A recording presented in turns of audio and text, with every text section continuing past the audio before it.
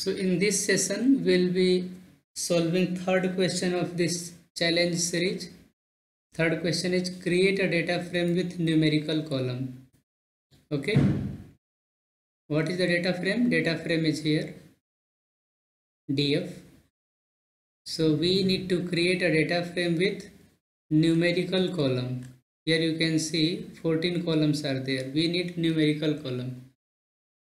These are the 14 columns. So numerical column we need okay? So for that you have to write df dot select underscore d types include equal to number okay? And if you want to check df dot columns dot unique okay so you can see here all these unique columns are there. Okay. And if you want to see type then how to check the type? For which type? So df dot d types.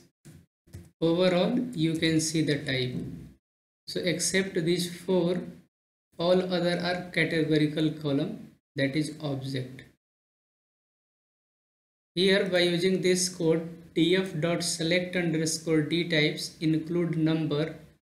You can get all the numeric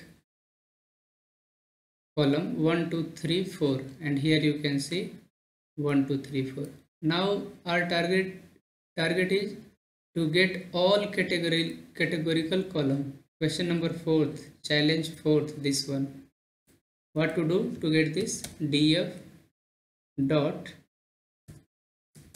select d type and include equals what? Object. Object. And then run this.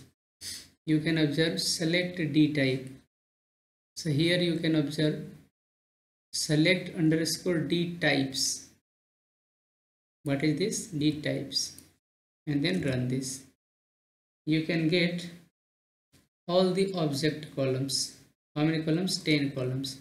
And here if you count 1 2 3 4 5 6 7 8 9 and 10 10 columns are there.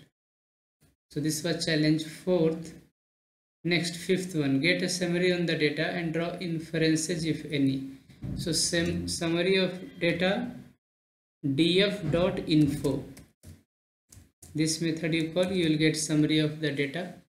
Means total 49438 entries are there and index is from 0 to 1 minus this total record. Total 14 columns are there and here you can see all the columns and d type. So these are summary on the data okay? Others statistical summary if you if you want to know df dot describe will give you a statistical summary like this. Count total count mean, standard deviation, minimum for all these uh, numeric column, then 25%, 50%, 75% and max. So this, this is a statistical summary. This is the common summary. Okay, df.info and then df.describe. So next challenge is display duplicate rows. So df dot duplicated.